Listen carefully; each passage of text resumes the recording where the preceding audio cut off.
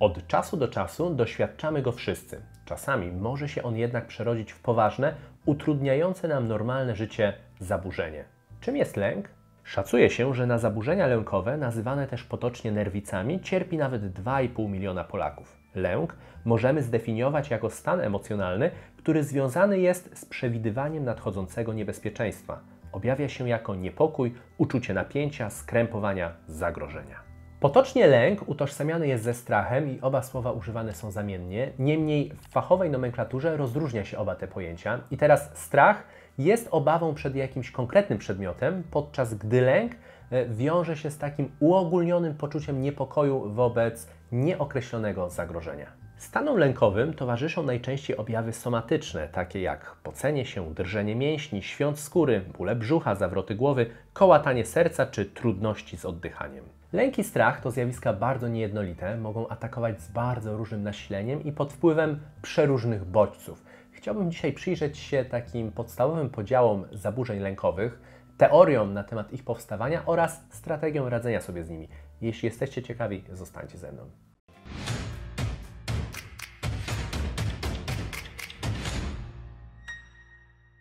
A po więcej ciekawostek, przemyśleń ze świata psychologii, ale też filozofii, literatury, serdecznie zapraszam Was też na mój Instagram, Człowiek Absurdalny.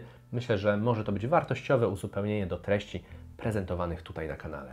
Choć nie ma granicy wieku, w jakim zaburzenia lękowe mogą się pojawić, rozwinąć, to jednak szczególnie narażeni na problemy z lękiem jesteśmy w młodym wieku, kilkunastu, dwudziestu kilku lat, kiedy jeszcze bardzo intensywnie uczymy się różnych strategii radzenia sobie z własnymi emocjami i szczególnie intensywnie wypracowujemy różne przekonania dotyczące otaczającego nas świata. Odnośnie tego zagadnienia w moje ręce wpadła ostatnio książka Lęk Off dr Regine Galanti, psycholożki, która specjalizuje się w leczeniu zaburzeń lękowych u dzieci i młodzieży. Dr Galanti jest doświadczoną terapeutką nurtu poznawczo-behawioralnego i czerpiąc właśnie z tego nurtu bardzo wiele różnych ćwiczeń i strategii do opanowywania lęku, zadedykowanych przede wszystkim ludziom młodym, choć moim zdaniem dość uniwersalnym też dla ludzi w każdym wieku, napisała tą książkę. Myślę, że jest to taki bardzo praktyczny podręcznik radzenia sobie właśnie z problemami z lękiem, niekoniecznie od razu z zaburzeniami, chociaż również e, przy wychodzeniu z zaburzeń ta książka może być bardzo przydatna. Jeżeli ten temat jakkolwiek Was dotyczy i chcielibyście poszukać takich sprawdzonych sposobów właśnie zaczerpniętych z terapii poznawczo-behawioralnej, to polecam Wam tę pozycję. Link do niej znajdziecie w opisie tego odcinka. Rozdział pierwszy.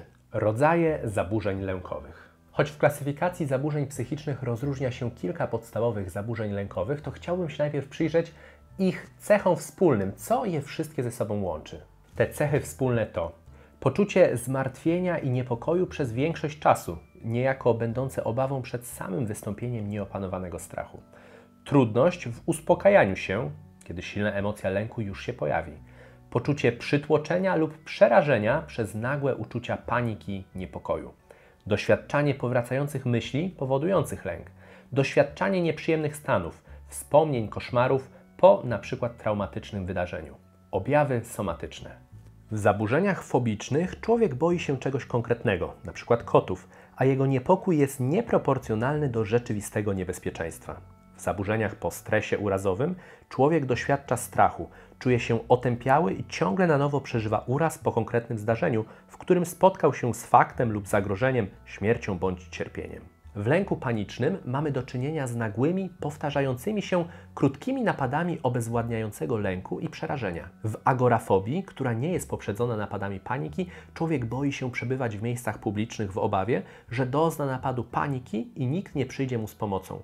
W uogólnionych zaburzeniach lękowych występuje długotrwały lęk i niepokój, który może utrzymywać się z dłuższymi lub krótszymi przerwami przez wiele miesięcy. W zaburzeniach obsesyjno-kompulsywnych mamy do czynienia z niekontrolowanymi, powracającymi myślami i wykonywaniem pozornie bezsensownych rytuałów, aby uchronić się przed uczuciem lęku. Człowiek z zaburzeniami obsesyjno-kompulsywnymi myśli na przykład, że nie wyłączył gazu w kuchni i wstaje z łóżka 20 razy w ciągu nocy, żeby to sprawdzić. Osoby z takimi zaburzeniami często czują lęk, ale wypracowują sposoby, aby się go szybko pozbyć. Stany lękowe mogą więc przybierać bardzo różną postać. Mogą albo pojawiać się rzadko, ale bardzo intensywnie, lub też dokuczać nam praktycznie przez cały czas, choć ze zmniejszoną częstotliwością. Ale co stoi u podstawy tych zaburzeń lękowych? Skąd one w ogóle mogą się w naszym życiu pojawić? Rozdział drugi. Co powoduje nadmierną lękliwość? Zaburzenia lękowe nazywano kiedyś najczęściej nerwicami i pionierem w ich opisie był sam Zygmunt Freud. Co ciekawe, Freud u siebie samego zdiagnozował nerwicę lękową. Jego zdaniem była ona spowodowana nagromadzonym u niego napięciem seksualnym. Moim najważniejszym pacjentem byłem ja sam, przyznawał. Pewnie kojarzycie, że Freud dzielił umysł na trzy obszary życia psychicznego, tak zwane id, ego i superego i zdaniem psychoanalizy lęk jest popędem, który wynika z dynamik pomiędzy tymi właśnie obszarami.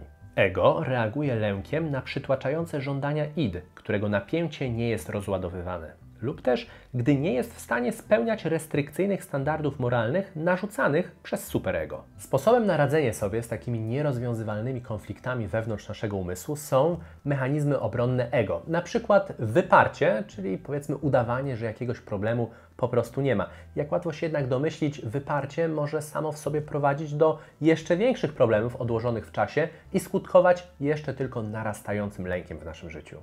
I choć obecne spojrzenie psychologii na lęk i powstawanie zaburzeń lękowych się zmieniło, to nadal uważa się, że takie nierozwiązane konflikty wewnętrzne mogą skutkować lękiem. Częściej jednak uważa się, że jego powodem są na przykład przyswojone takie dysfunkcyjne schematy funkcjonowania w codziennym życiu lub też przeżycie jakiegoś bardzo przykrego, traumatycznego doświadczenia, albo też ciągłe przeżywanie takiego codziennego stresu, na przykład związanego z dużymi zmianami w naszym życiu. Jak zawsze kluczowe w powstaniu różnego rodzaju zaburzeń, również tych lękowych, jest nasze środowisko, gdzie się wychowywaliśmy, to jak wpływali na nas nasi rodzice. I teraz to od nich uczymy się bardzo wielu schematów, e, na przykład radzenia sobie z lękiem, ze stresem w codziennym życiu. Oni też przekazują nam bardzo dużo kluczowych przekonań, e, na bazie których na przykład będziemy sobie tworzyli narrację w głowie, czego należy się bardziej w życiu obawiać, a co jest dla nas zupełnie niegroźne. Do tego wszystkiego oczywiście genetyka ma tutaj duży wpływ. Jeżeli u naszych rodziców, bliskich, krewnych, E, są jakiegoś rodzaju zaburzenia, chociażby te zaburzenia lękowe, to jest zwiększona szansa, że my również je odziedziczymy. Ciężko jednak oczywiście, jak zwykle w psychologii, rozstrzygnąć, co ma większy wpływ, czy geny, czy wychowanie. Szczególnie jeżeli wychowujemy się z rodzicami, od których też dziedziczymy geny, no to ciężko ostatecznie rozstrzygnąć, czy większy wpływ miała ta odziedziczona predyspozycja, czy to, jak nas po prostu na co dzień kształtowano. Na zaburzenia lękowe mają też wpływ kwestie fizjologiczne i najczęstszymi chorobami wyzwalającymi lęk są np. problemy hormonalne, cukrzyca, astma czy choroby serca. Na rozwijanie się problemów z lękiem mogą mieć wpływ też substancje psychoaktywne, już takie jak np. alkohol czy też nawet środki uspokajające. I podstawowy problem jest taki, że nawet jeżeli one pomagają krótkofalowo radzić sobie z lękiem, to po ich odstawieniu może być tak, że będziemy odczuwali coraz mocniejszy lęk. Bardzo istotne są też czynniki osobowościowe i tutaj badani uważają, że pewne cechy charakteru, jak na przykład perfekcjonizm, nasilona potrzeba kontroli czy niska samoocena, mogą bardzo predysponować do lękliwości. Należy też pamiętać, że problemy z lękiem prawie nigdy nie są spowodowane tylko jednym czynnikiem. Prawie zawsze chodzi tutaj o bardziej złożone kwestie i to, jak wzajemnie na siebie te różne czynniki będą oddziaływać w naszym życiu. Jeżeli już jednak takie problemy z lękiem, niekoniecznie nawet zaburzenia, ale rozwiną się już u nas, to co możemy zrobić, jakie są najskuteczniejsze strategie, żeby sobie z tym problemem poradzić? Rozdział trzeci. Jak radzić sobie z lękiem? Jak zwykle jedną z najskuteczniejszych metod przepracowania problemów psychicznych jest psychoterapia. Tutaj można się na przykład zastanawiać, w jakim nurcie najlepiej pracuje się z lękiem. Jeżeli jego powodem mogą być na przykład jakieś takie nierozwiązane konflikty w naszym wnętrzu, często pochodzące jeszcze z czasów zamierzchłych, z dzieciństwa, to można spróbować psychoterapii psychodynamicznej, psychoanalitycznej, choć najczęściej w zaburzeniach lękowych, które spowodowane są różnego rodzaju takimi dysfunkcyjnymi schematami, jakie sobie przyswoiliśmy w naszym życiu, y, podkreśla się, że bardzo dobre efekty odnosi psychoterapia poznawczo-behawioralna. Wedle badań jedną z najskuteczniejszych form terapii psychologicznej w zaburzeniach lękowych jest psychoterapia poznawczo-behawioralna, w skrócie CBT. Podczas takiej terapii pacjent uczy się dostrzegać wzorce swojego myślenia i zachowania, które predysponują go do odczuwania lęku. Jeżeli wzorce te zostały rozpoznane, pacjent może świadomie i celowo dokonać ich zmiany na takie, które redukują lęk i wzmacniają umiejętności radzenia sobie z nim. Podczas terapii CBT pacjent pracuje nad zmianą sposobu myślenia na bardziej realistyczny i skupiony na rozwiązywaniu problemu. Często bardzo pomocne jest stopniowe stawanie twarzą w twarz z sytuacją wywołującą lęk. Są to techniki tzw. Tak desensytyzacji.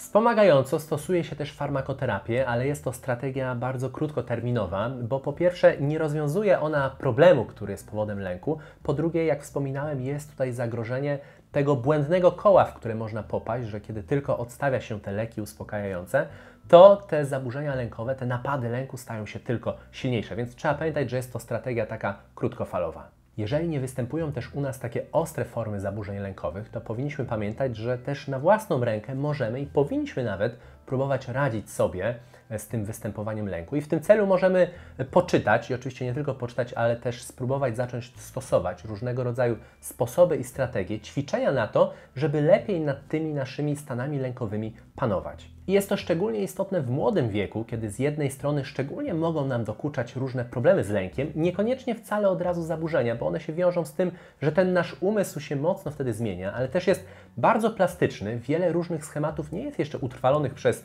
wiele lat naszego życia i dlatego możemy łatwiej nad nimi pracować. Dlatego myślę, że szczególnie warto sięgać po książki takie jak dr Galanti, co polecam już młodym ludziom i chciałbym teraz zwrócić uwagę na kilka takich strategii i technik, nie tylko skierowanych do młodych, myślę, że do każdego, ale szczególnie myślę, że młodzież tutaj może wyciągnąć dla siebie bardzo praktyczne wskazówki, jak sobie lepiej z tym lękiem w swoim życiu radzić. Dr Galanti, czerpiąc ze swojego doświadczenia w terapii poznawczo-behawioralnej, w swojej książce dzieli różne ćwiczenia i strategie na takie trzy obszary pracy. Są to skupienie, uważność i działanie. Jeżeli chodzi o pierwszy obszar, czyli skupienie, to jego celem jest przede wszystkim zidentyfikowanie takich różnych szkodliwych schematów, e, kiedy pojawia się w nas lęk, na przykład co go wyzwala. I tutaj wiele ćwiczeń polega na e, samoobserwowaniu się, na zapisywaniu różnych swoich doświadczeń, żeby zrozumieć jak najlepiej takie schematy naszego życia codziennego, które mogą nas prowadzić do lęku i później oczywiście w kolejnych krokach je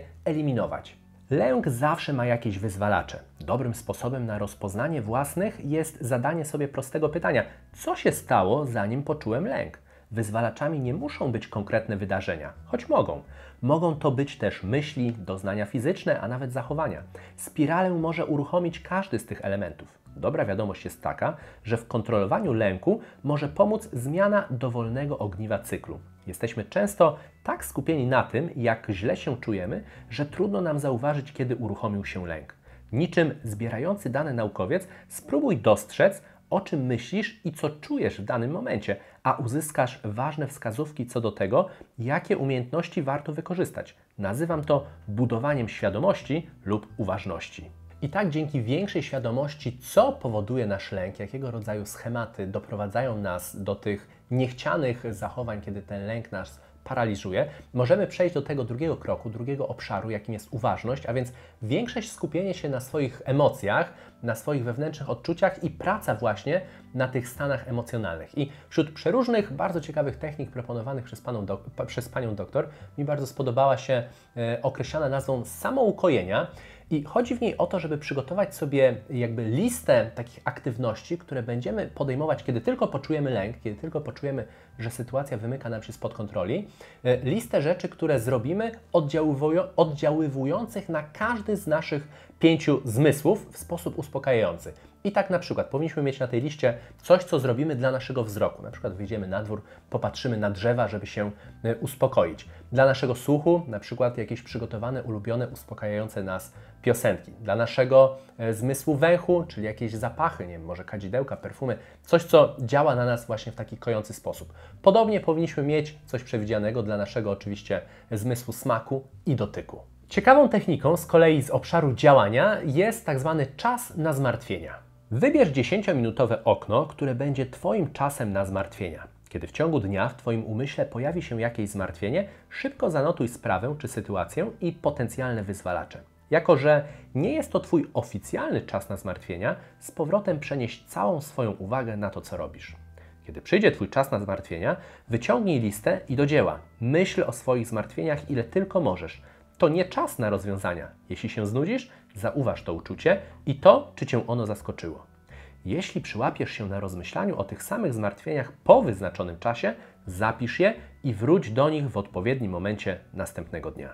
Jak pewnie zauważyliście, może nawet z pewnym rozczarowaniem, nie są to absolutnie takie magiczne sposoby, które wystarczy zastosować raz czy dwa razy i po prostu lęk nagle zniknie z naszego życia. Ale jak to zwykle w tej pracy z naszym umysłem, tutaj przede wszystkim liczy się konsekwencja, powtarzalność i trzymanie się tych zasad. Ja ze swojej perspektywy, z mojej takiej wiedzy psychologicznej, przeróżnych badań, z jakimi się spotykam, mogę potwierdzić, że e, te wszystkie techniki, strategie, tak jak zresztą sama psychoterapia, one naprawdę mają dużą skuteczność, jeżeli tylko rzeczywiście podejmiemy się tej pracy nad tą zmianą i będziemy się tej konsekwencji trzymać. Dlatego wszystkim, którzy chcą na przykład jeszcze więcej takich strategii do pracy ze swoim własnym lękiem zaczerpnąć, to bardzo polecam się, że super praktyczna jest ta książka dr e, Reginy Galanti e, Lęk Off. Link do niej w opisie odcinka. Myślę, że do tematu lęku będę jeszcze wracał, bo on jest bardzo ciekawy, zróżnicowany. Tutaj może jeszcze e, różne ciekawe aspekty jego poruszyć, ale na dzisiaj niech to będzie tyle. Chciałem Was szczególnie zostawić z jakimiś takimi konstruktywnymi sposobami, rozwiązaniami do, do praktykowania w Waszym życiu. Dajcie koniecznie znać, jeżeli, a trochę każdy z nas czasami mierzy się z jakimś lękiem w jakimś obszarze, chociaż nie musi on koniecznie przejmować kontroli nad naszym życiem. Dajcie koniecznie znać, jakie Wy macie sposoby na radzenie sobie z lękiem, jak może w życiu przezwyciężyliście już różnego rodzaju takie właśnie trudne lękowe, lękowe stany czy, czy sytuacje powiązane z jakimiś, jakimiś na przykład przedmiotami, wydarzeniami. E, myślę, że może być z tego też, też ciekawe uzupełnienie do tego, co, co było w odcinku. Jeśli chodzi o jakieś pytania, myślę, że też fajnie, się pojawią, to będzie okazja właśnie przy kolejnych materiałach, żeby na nie odpowiedzieć. E, zapraszam Was jeszcze na Instagram Człowiek Absurdalny, tam też pewnie ten wątek będzie powracał, będzie się gdzieś przewijał. Zostawcie subskrypcję, jeśli jesteście tutaj po raz pierwszy i widzimy się już niedługo. Do zobaczenia.